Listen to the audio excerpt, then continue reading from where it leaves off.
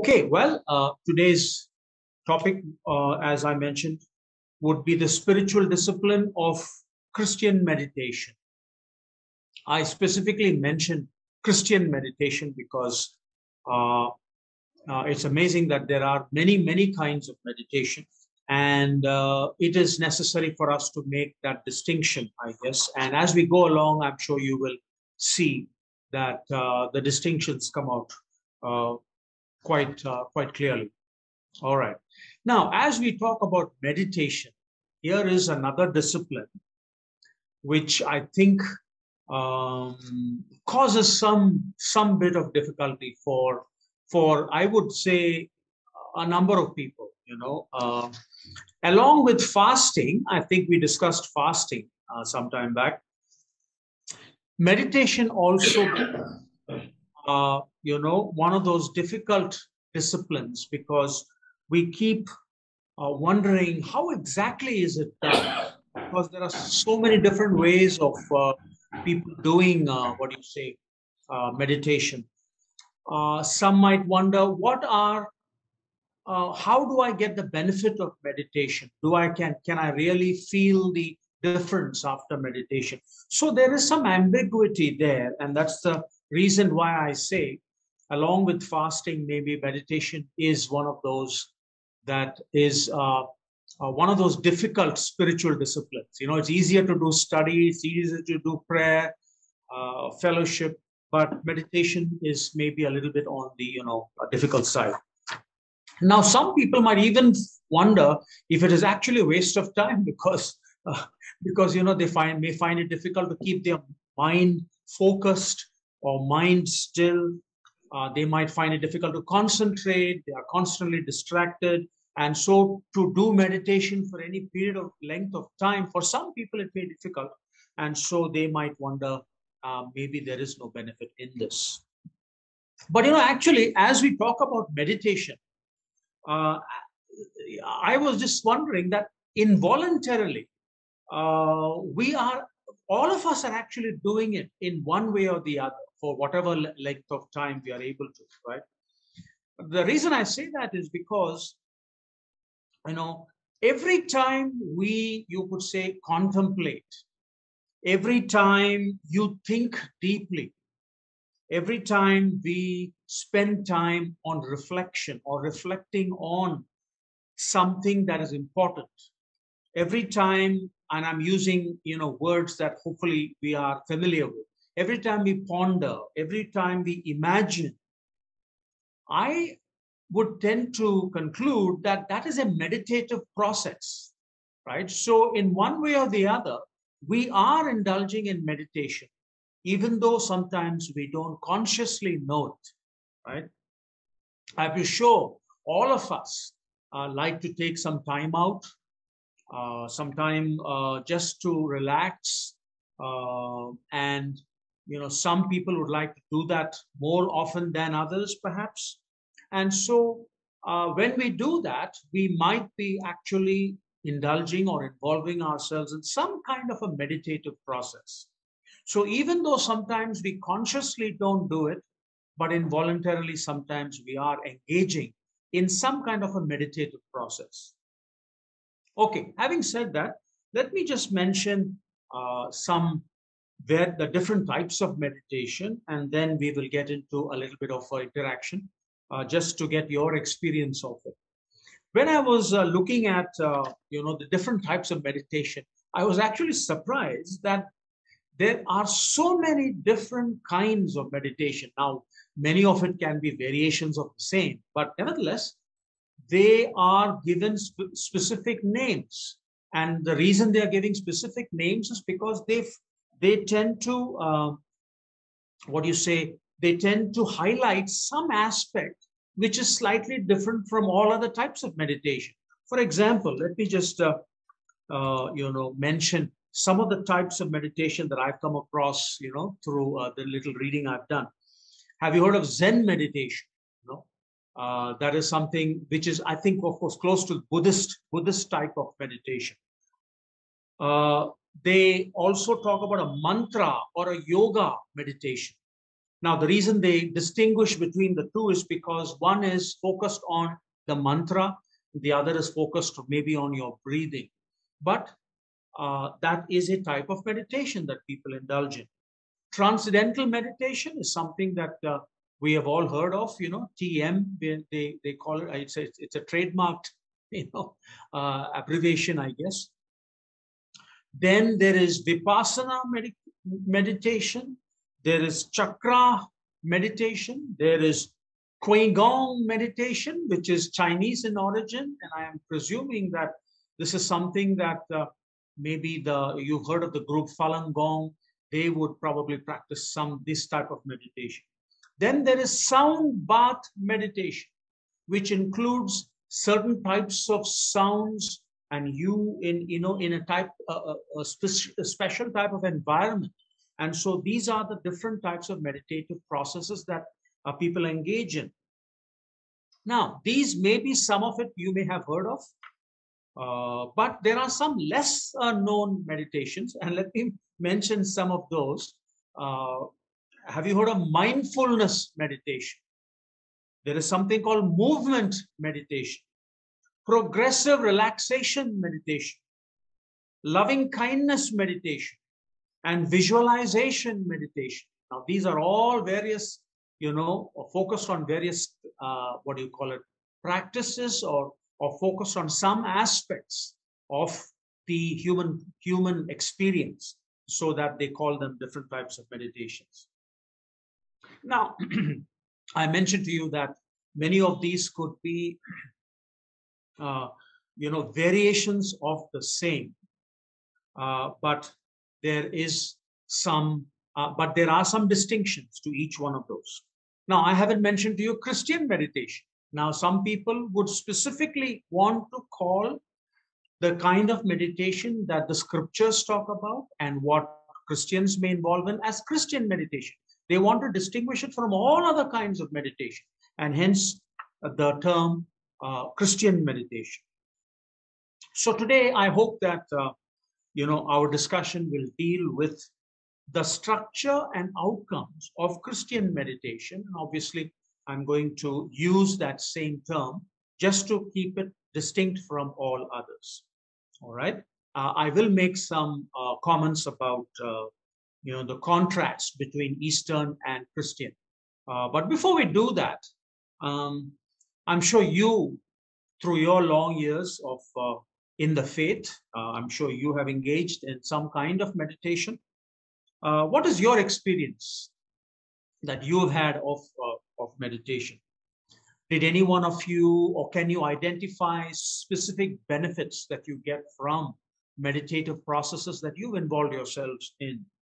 So once again, I'm trying to focus on your experience. So could you would you like to share what you have experienced in terms of this meditative process?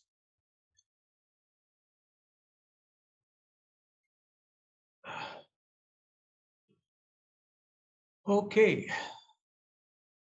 Somebody has to go first. So, yes, Vanessa, go ahead. Okay, I've, I've been to this uh, Vipassana, Vipassana meditation camp. Okay. Can you hear me? Yes, we can hear you now. Go ahead. In one of the in, in one of the schools, the director, he goes for this meditation camp, this Vipassana one. So he had uh, given me a place and I had gone and it was uh, a 10 day uh, meditation camp where you're not allowed to have your mobile phones and you're not allowed to speak to anyone. And it was mostly meditation, sit for hours and, and just keep quiet and just meditate and I, I didn't like it at all. I mean, when I was sitting quietly, then I was, of course, my mind was thinking of something else. It was, it was not a, um, I don't know, meditation of the soul or what it was, but I didn't understand anything. So I didn't gain anything by it. So after that, I didn't go for any more meditation camps. Okay. Okay. Uh, was it was it uh, uh, meditate? I mean to say, was it individual? In other words, was it in a group or was it individually group, done? Group, group. It was a group. Right. A okay. big hall, a big hall, and many people, many. gents were one side and uh, I mean males were one side and females were one side. So it was Okay. huge campus. Uh, Okay, all right. So you you specifically say that you found no particular uh, benefit from it. no, Right. nothing at all. Okay, all right. Thank you, Vanessa. Anybody else have any thoughts on your experience?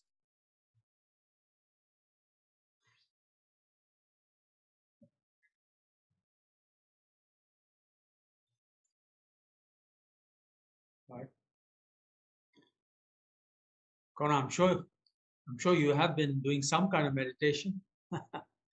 Uh, No? All right. Uh, Yes, Suryamurthy, go ahead.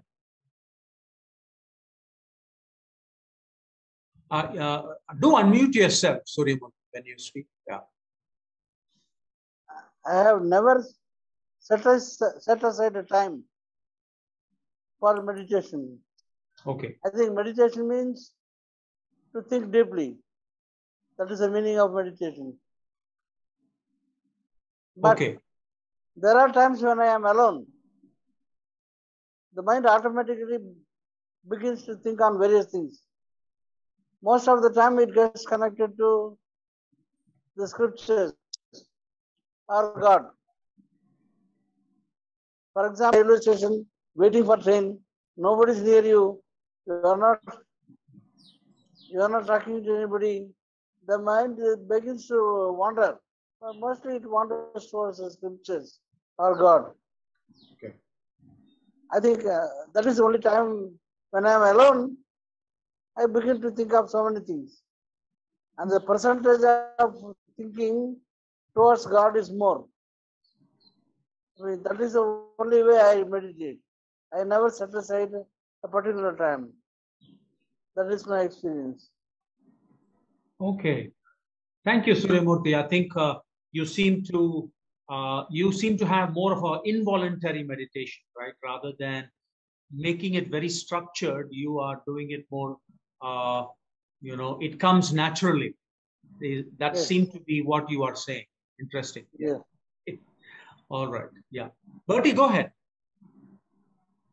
Please unmute yourself.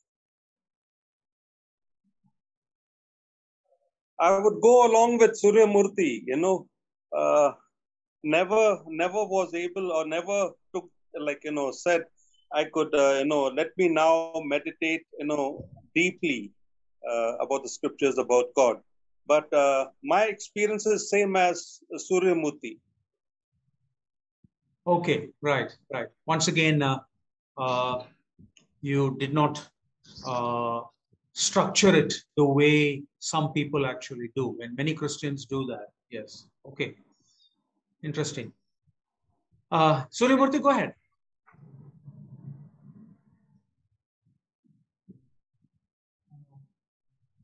Uh, if, if I, remember correctly, Isaac was moving in the fields, hesitating when Rebecca arrived. Uh, are you able to recollect that? Uh, Isaac. Yeah, Suryamurthy, we Son lost. of Abraham. words. Uh, I think, uh, yeah, just can you repeat what you said? Are you able? Isaac Yes. was moving in the fields. And I think the Bible says Right. he was meditating. Yes. Yes. So he was at the time when uh, Rebecca arrived. Yes. So just he was walking alone and he began to meditate. Right. In fact, I do have a reference to that, and maybe we will uh, talk a little bit more about that. But yes, that is there is the word used there is uh, in a process of meditation. Right. Anybody else can would like to share your uh, your personal experience in the discipline of meditation?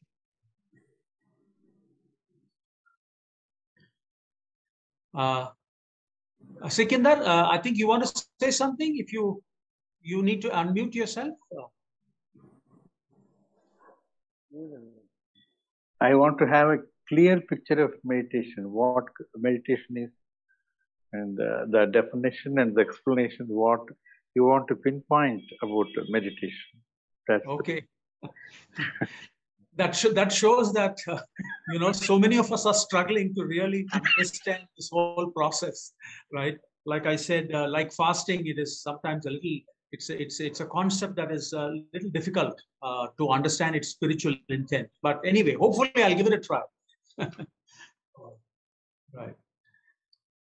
Okay. Uh, so it looks like many of you are in the same boat in terms of uh, probably not having uh, much to say about meditation, right?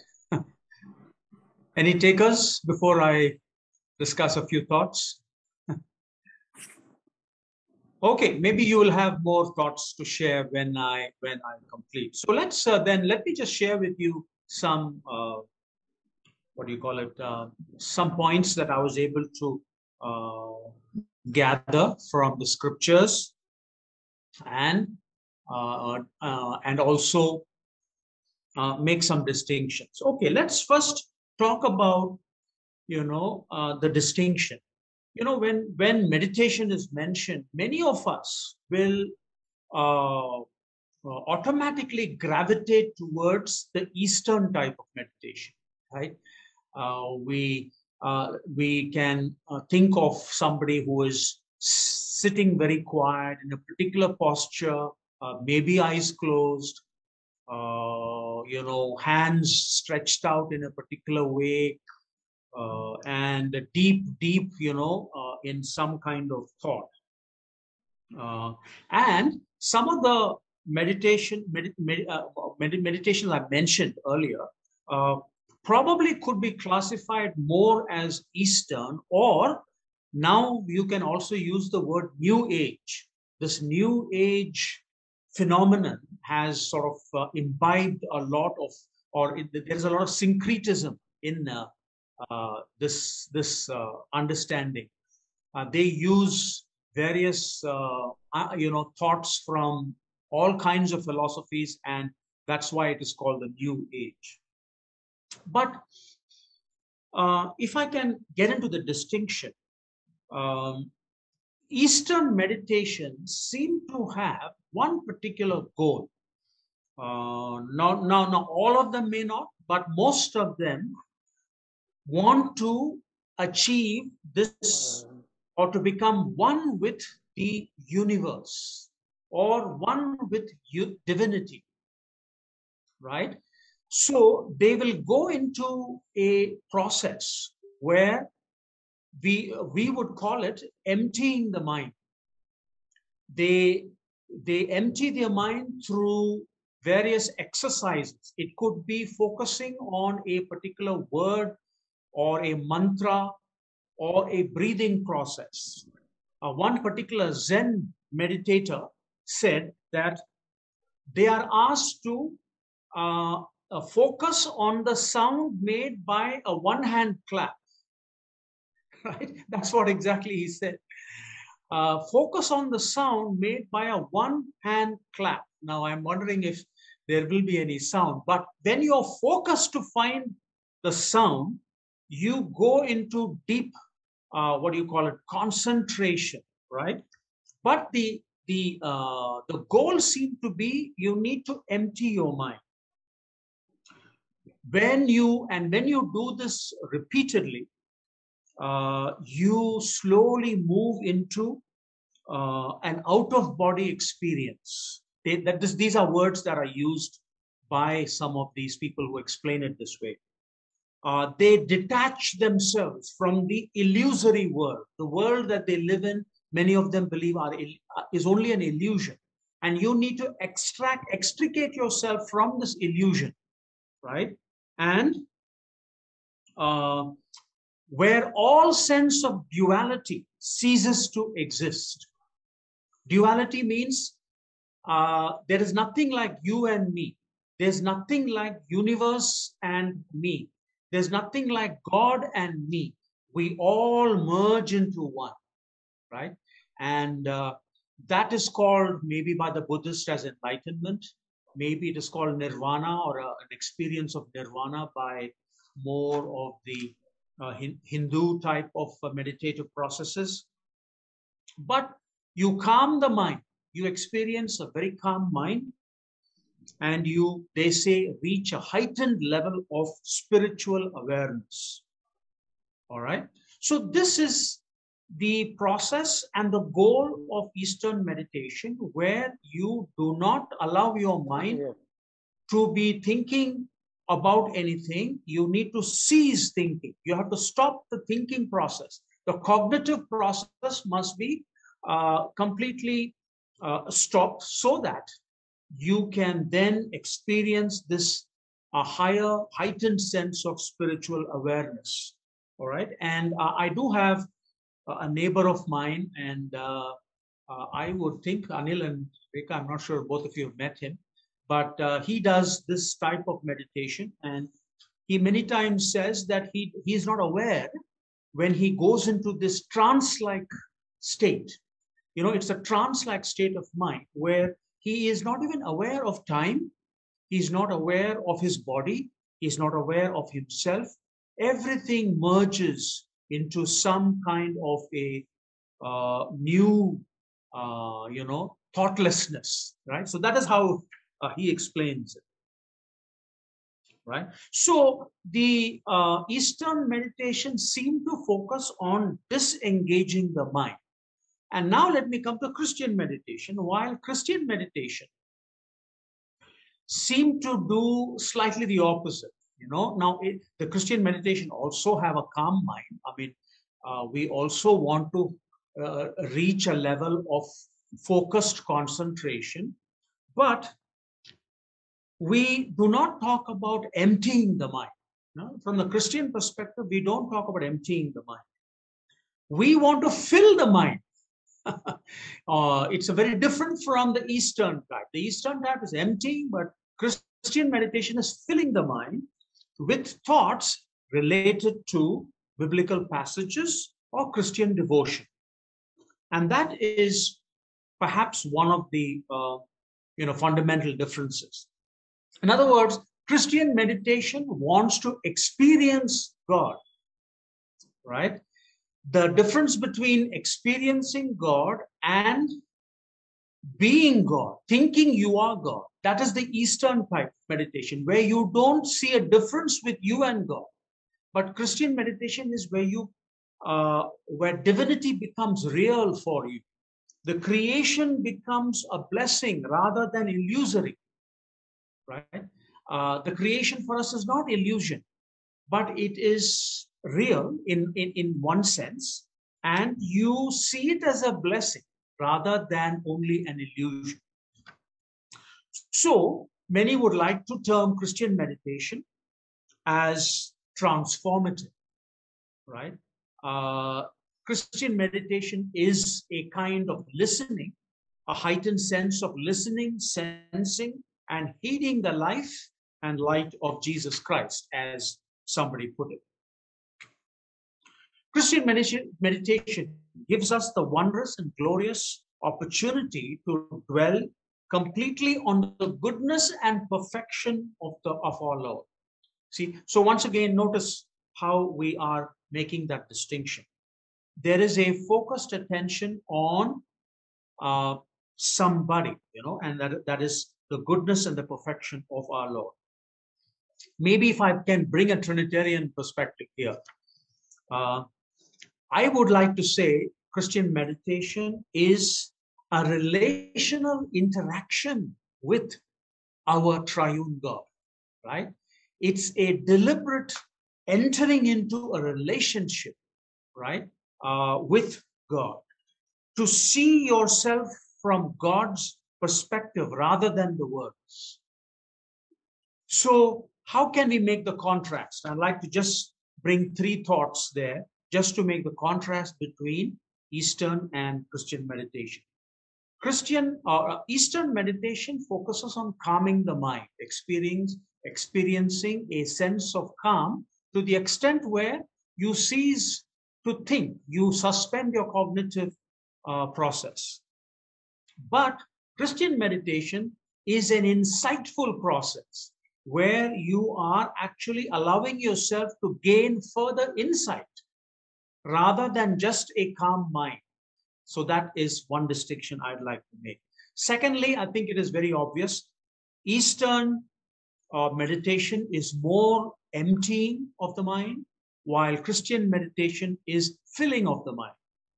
And a third distinction I'd like to make is the Christian meditation, or rather, Eastern meditation is more trance like experience, where you might not even understand and know where you are or what time it is. You lose all sense of the three dimensional world, right? That is the, that is the Eastern, uh, uh, the goal of Eastern meditation. While Christian meditation is very conscious. You do not lose consciousness. You remain conscious and you know what uh, is taking place, right? So those are the three distinctions I'd like to make from Eastern and Christian meditation. Let me give you some more thoughts on Christian meditation. Christian meditation is a way of, you could say, communing with God, or it's a communion with God. Once again, I bring in a Trinitarian perspective. Just as Father, Son, Holy Spirit commune with each other, the Father, Son, the Father knows the Son, the Son knows the Father, the Holy Spirit is the glue that brings them in that sense of knowing. There is a conscious, there is a constant communion going on. So Christian meditation is more in the sense of communion, right? And it could be done through the focus of scripture, focusing on scripture, uh, and God's presence with us. Now, the scriptures for, for Christian meditation is very important. You probably notice that our thoughts tend to be focused very much on scripture. In fact, I don't know if uh, it is the Essenes, but there is a group of people, uh, Christians, uh, who called the Bible the scroll of meditation. They term it the scroll of meditation. In other words, they are meant for, uh, you know, for us to enter a process of meditation. So, once again, Christian meditation uh, literally is the idea of pondering, dwelling on, and you could say some use the word mutter the scriptures, muttering, you know, uh, or rather uh, explicit talking or saying or expressing the scriptures uh, so that it begins to take root in our in our hearts. Now uh, as christianity progressed from the first century on into the second there was a, a, a, an interesting practice that many christians began at that time and it is in in the latin it is called uh, Divina. I don't know if you've heard of it, uh, but it, it became a very structured way of meditating. And uh, many believe it is one of the earliest forms of Christian meditation. Like I said, it was developed in the second and third centuries. It is Lectio Divina is Latin for divine reading, divine reading, or spiritual reading, or holy reading, and they read scripture in a way to promote communion with God and provide special spiritual insights. So uh, the early Christians started this process or this concept called Lectio Divina, divine reading, specifically to uh, allow themselves to have a deeper communion with God and to have access to spe- special spiritual insights. And of course, this was more uh, practiced by the monks. And many of the monks, you know, the whole order of monks started because uh, many Christians were getting distracted by the day-to-day, you know, life situ- uh, circumstances. And some of these people, some of them decided that they don't want these distractions. So they started monasteries. And that's where the monks uh, began the process of uh, uh, doing these kinds of meditation and they would spend you know days praying and reading scripture and while they were reading remember i said the meaning is divine reading while they were reading phrases or verses seem to leap off the page with special personal importance. And that's the reason why uh, uh, divine reading is done many times. It is repeated. You read it once, you read it a second time, you read it a third time, then you reflect on it. And sometimes you are given some spiritual insight as you do that reading. Now, this became, of course, later on, uh, you know, a very strong practice within the Catholic faith. Uh, they, uh, the Catholics adopted this process over the centuries, and then it became uh, very much part of their uh, practice. Now, uh, Lectio, Lectio Divina is now actually criticized by some. Uh, some of the more contemporary Christian scholars, some of them think that Lectio Divina is not necessarily Christian, but it is actually ancient Greek meditation, right? And they say it is not Christian because it was not found in the early Christian church. But I'm not sure if they are uh, probably reacting a bit too much to the extreme. Uh, I would think that there is still tremendous amount of benefit by doing divine reading. I mean, the term divine reading just means reading it again and again so that you are able to understand the context and uh, you know some some sense of spiritual understanding and insight you gain uh, so uh, once again, we won't get into that controversy at this time. Just wanted to mention to you that some scholars don't advocate uh, lectio divina. Okay? Now, what I want to do is, in the little remaining time, I want to go to some scriptures. Uh, once again, let's take some things out of the scriptures. I'll read you a few scriptures, and then we can put this and, and then make some conclusions. Let me read to you what uh, Suryamurti was referring to, Genesis chapter 24 and in verse 63. Uh, this is uh, in context with Isaac, if you remember. Uh, uh, Abraham wanted a bride for Isaac and he had sent servants to find the bride. And, um, and of course, the, word, the chapter describes how that wife was found, and that was Rebecca. But in verse 63, let me read it for you. It says, He, that is Isaac, went out to the field one evening to meditate. Uh, and as he looked up, he saw camels approaching. And you know, the camels were coming with his potential bride. Um, but here, the word, he went out into the field one evening to meditate. The word meditate, uh, some scholars uh, indicate uh, the Hebrew word used there is suak, uh, which means muse. Uh, it could have fun, fundamental meaning of meditate. But some feel it has a bit of a negative connotation. It could mean maybe a complaint, right? Uh, uh, is some sort of some form of lamenting. Now I don't know the circumstances under which Isaac may have been lamenting, Maybe he was also very concerned. He was wondering whether he'll get a wife or not, or he'll stay a, or he will he be a lifelong bachelor. Uh, maybe he was uh, concerned for that, and there was some sort of a lamenting going on. But the Hebrew can also mean thoughtfulness. It could indicate thoughtfulness. He was being very thoughtful, right? Now, the reason we pick up this uh, particular verse is because you know, notice Isaac was seeking the Lord during his time of meditation. All right. And he was doing it at a time when he was concerned, maybe going through a moment of, uh, you know, trouble. Uh, maybe he had troubled thoughts. Uh, and so he was seeking the Lord when his mind was troubled.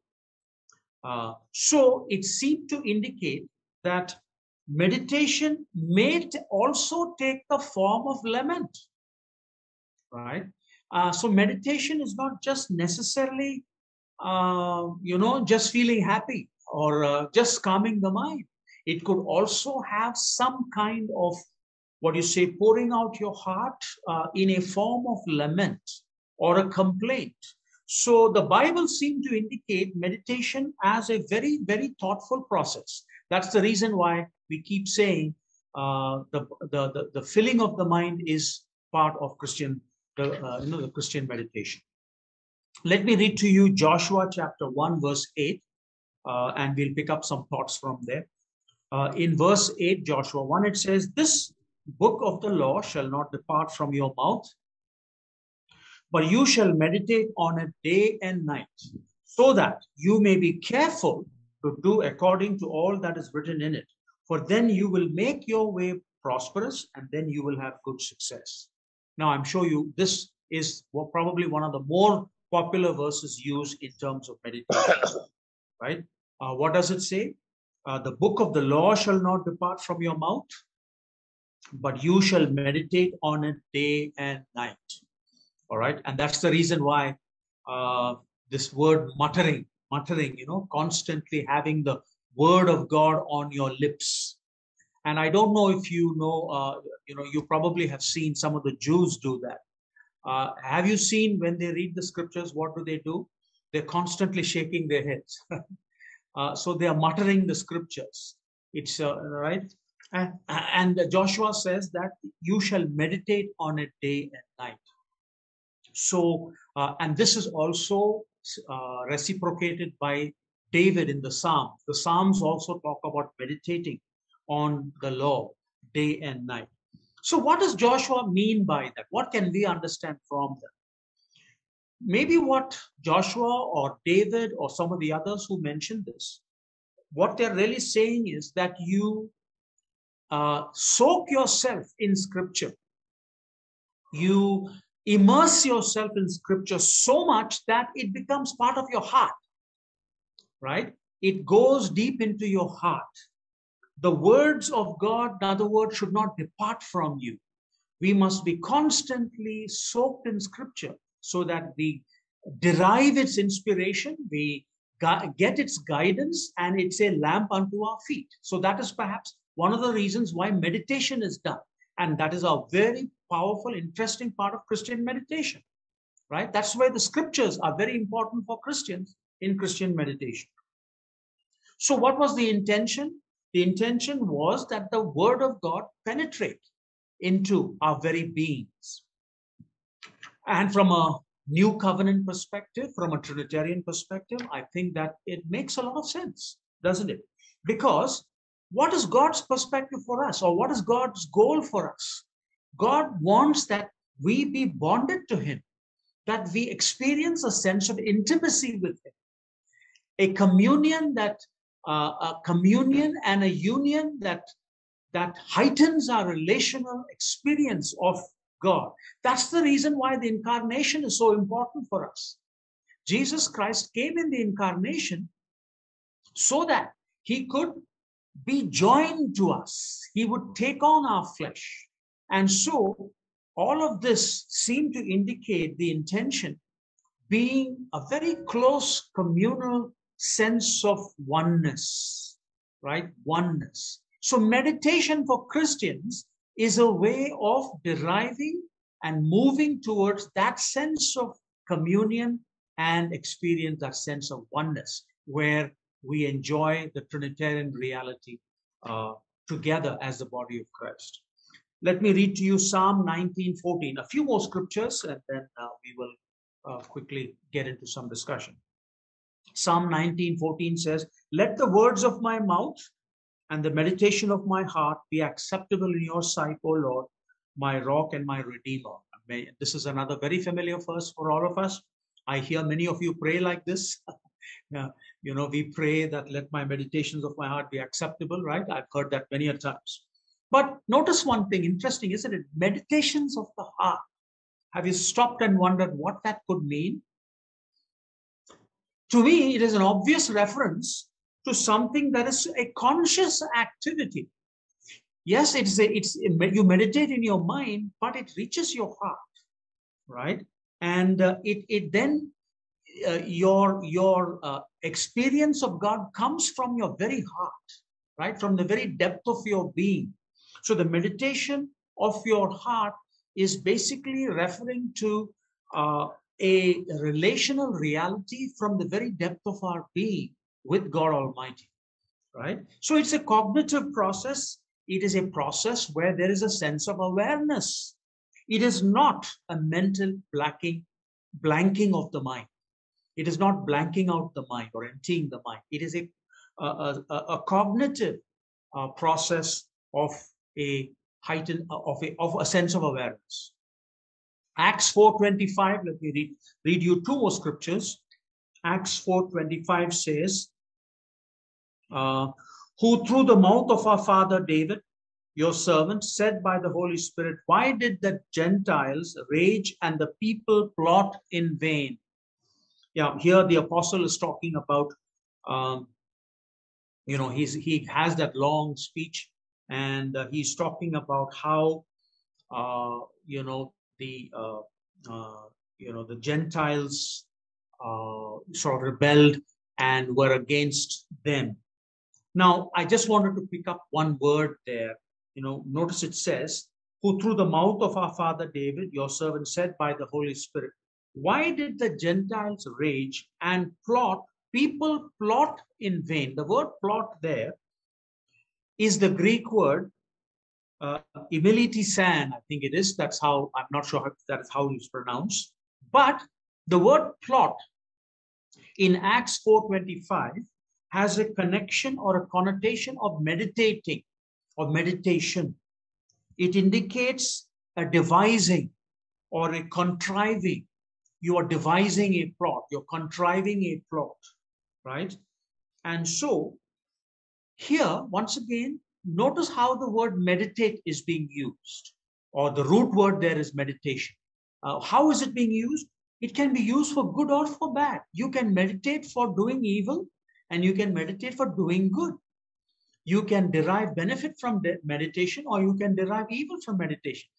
Or in, in, in any case, it is a very strong, uh, uh, uh, you know, cognitive process right? It is a deliberate cognitive process. So that is how the Bible uses the word meditation. And one more scripture, Philippians chapter 4 and verse 8, it says, Finally, brethren, whatever things are true, whatever things are noble, whatever things are just, uh, whatever things are pure, whatever things are lovely, whatever things are good, good report, if there is any virtue, if there's anything praiseworthy, meditate on these things. Another familiar verse, Philippians 4 verse 8.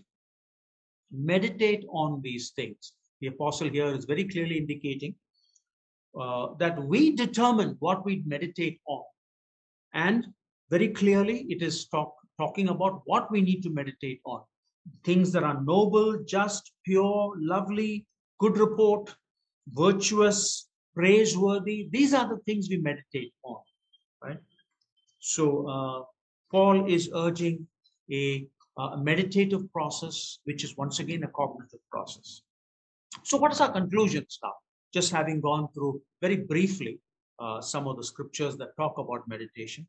Uh, one, it is meditate, Christian meditation is a communion with God and to be aware of his presence with us. That's one point I would like to mention. Secondly, to know and experience God's attributes, including his love, kindness, and grace, making them more tangible realities in our lives. That's why I said Christian meditation is transformative, right? It transforms us as we meditate on the attributes of God, which is love, kindness, grace, and of course, you can mention all the fruit of the Holy Spirit. Uh, Christian meditation is to transform our thoughts and filling of our minds with biblical truths, bringing our thoughts into agreement with God's thoughts. All right, so we are aligning our thought process with how Jesus Christ would think.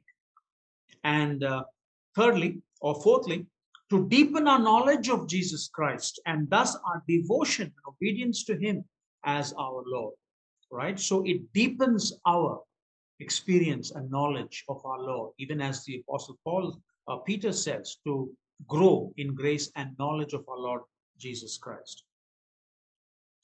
Uh, Psalm 119:11 says, Your word I have hidden in my heart that I might not sin against you. Right? Your word have I hidden in my heart. Could that be a meditative process? Right? Uh, uh, it, it, it, that maybe can be done through a meditative process. And when it says that I might not sin against you, take sin in the broader sense. It's not just uh, law breaking, but to be close to God, to be filled with the Holy Spirit, to have a sense of confidence in the presence of God, right? Uh, and so uh, these are some just some thoughts that uh, I just wanted to share with you. Okay. Um, let me then end with one quotation. I found this in a tweet, uh, and I don't know the author of this, but I'll just mention it to you. It says, The methods of meditation, and I'm presuming it is Christian meditation, are paths to travel to arrive at the encounter with Jesus.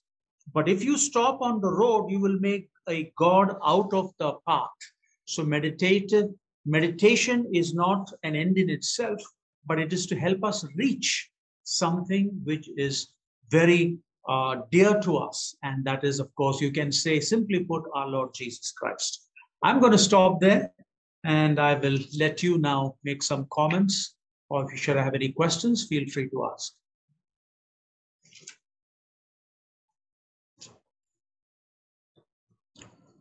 Surimurti, go ahead. Yeah.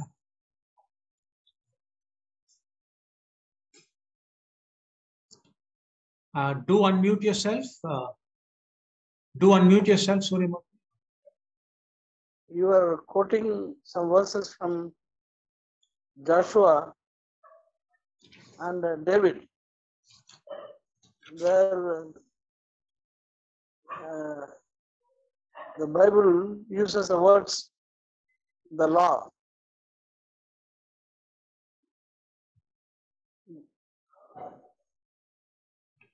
See, the, the, the, law is not the correct translation in these places and in uh, hundreds of other places.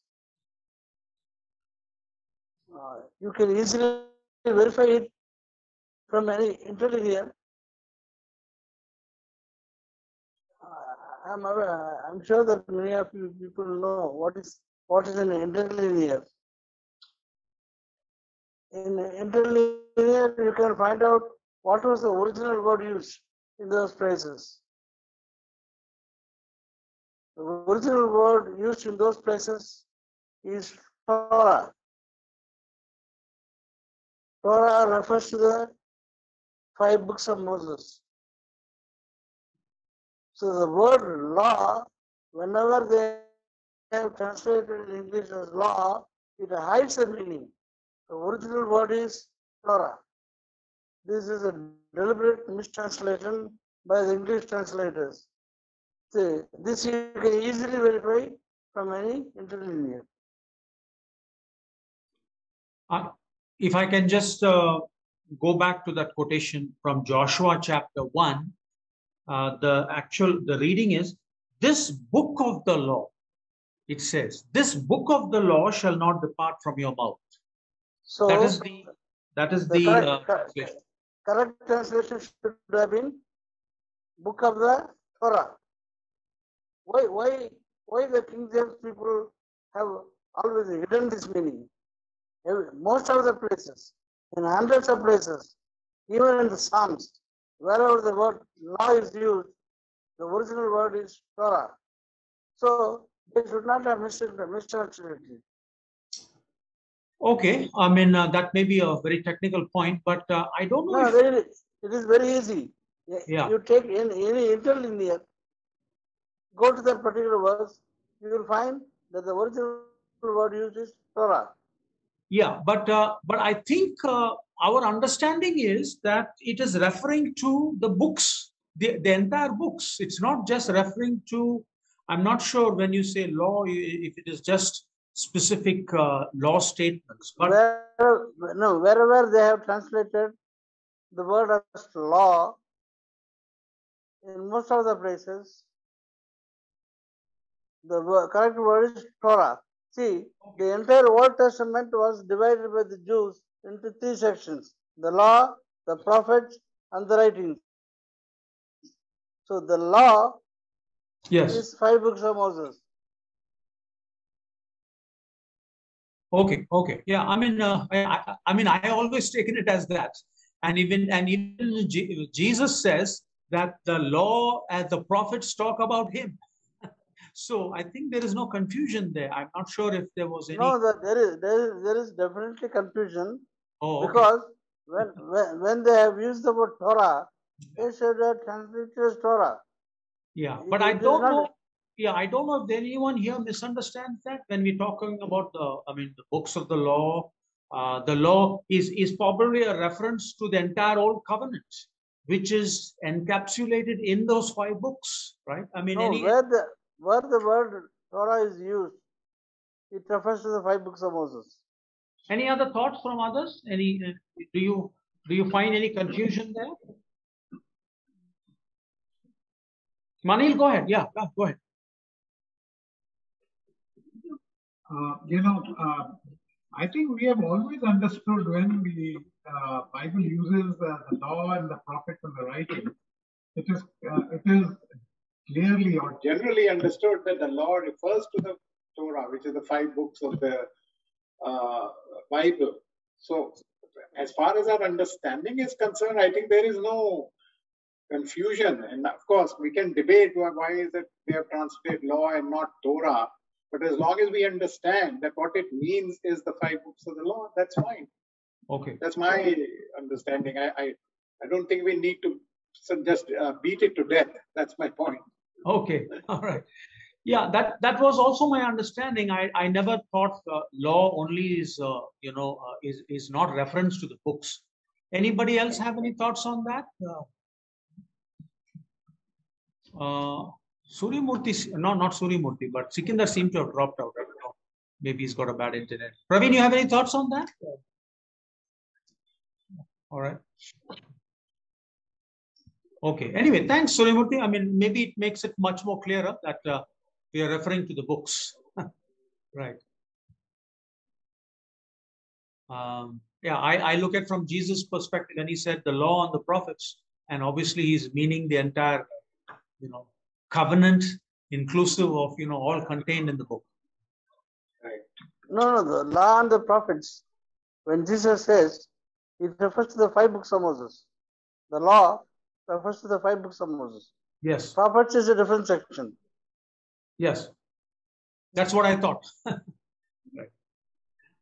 Okay. Any other thoughts on meditation? Uh, did uh, did did it help to? I mean, at least uh, uh, you know to make that contrast between East Eastern and Christian meditation. Did it make any sense? Uh, yes, Franklin, you had a thought. Please unmute yourself. Yes, sir. You drew a clear distinction, and then you presented the biblical perspective. In the end, you presented the, what meditation in Christianity means. Right, okay. Yeah.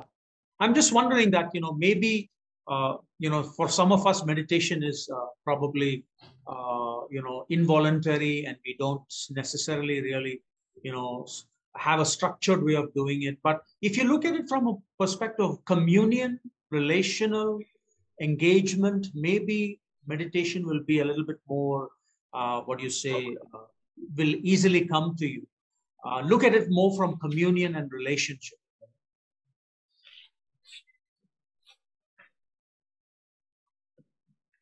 Surimati, go ahead.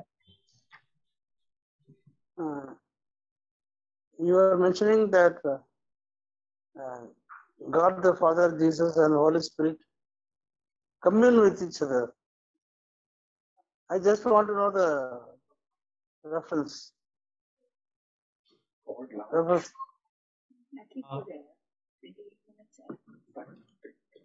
Uh, your, uh, Surimati, your line is a little uh, choppy, but I'm presuming you're asking uh, uh, where uh, we are talking about uh, Jesus Christ saying that he knows the Father, he keeps knowing the Father, the Father keeps knowing him. There is a communion. Is that what you're saying? The line is a little bad there. Praveen, can you uh, see if he's uh, Frozen, I think. uh, uh, Praveen, you're uh, you're on mute. Uh, Suryamurthy is frozen, and that's the question he asked, as per my understanding also. Okay, okay. Uh, yeah, let's hope that he can come back. But uh, for any one of you who might want to know that, uh, I think it is Matthew chapter 11. I mean, that is one verse, and John chapter uh, 17, right? John chapter 17. Uh, Matthew chapter 11, uh, Suryamuti is dropped out. So if you read the last few verses, you will see that. And also John 17, if you read the whole thing, you can see the communion going on between the Jesus and Father. All right. Uh, Sikandar, can you hear us? Yes, sir. Okay. Uh, were you able to catch some of our discussions? Yes, sir. Okay. okay. It is, uh, is it uh, addressing a problem and uh, fix it in general sense? Uh, meditation is uh, when we get a problem, we think about it, how to do it, and fix it. On faith lens, we enter it, and there is no end for that because we grow in God's grace and knowledge, and we'll be studying and meditating upon God's word. Yeah.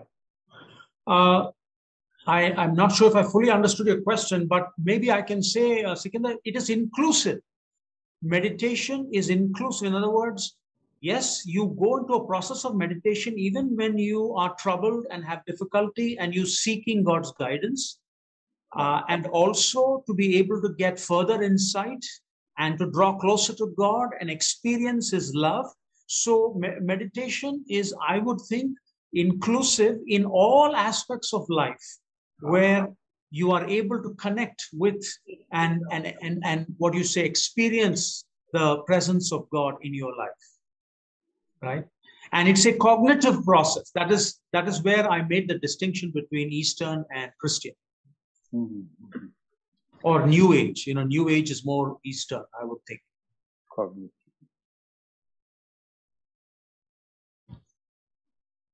Right. Oh boy. Yeah time has moved on.